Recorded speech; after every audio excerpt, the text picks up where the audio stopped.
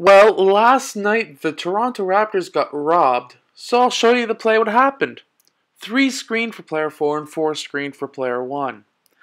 One used that screen. Normally he could have been open, but he wasn't. So he moved out of the way and 3 screen for player 4 who was Terrence Ross. Terrence Ross got the ball and shot the 3 and scored to tie the game up. However, as we see in this video, it was tipped before he was to receive the pass, which then the referees went over their tape and said it was 0.1 or 0.2 seconds too long and they did not count the basket. A very, very controversial call that I wish they could have just said replay the play or something like that. That would have been just a little bit more of a, you know, better way of handling the situation.